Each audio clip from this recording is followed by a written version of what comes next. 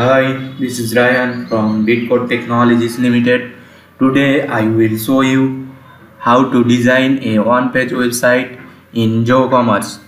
So let's get started.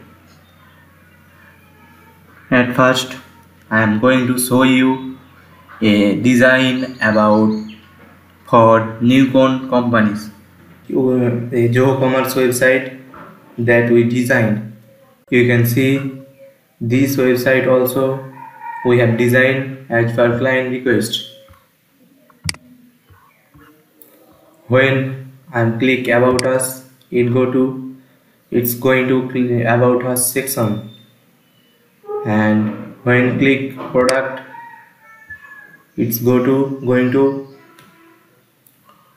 product section. There are three products category here if I click on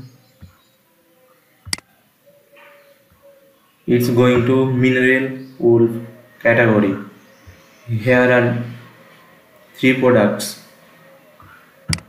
Also when I click this picture it's going to sheep's wool category. You can see there are also three product here. And when click this image it's going to fibrous cement board. Also there are three products. Now when clicks contact it's going to contact section so this website we designed as per client request. Thank you for watching this video.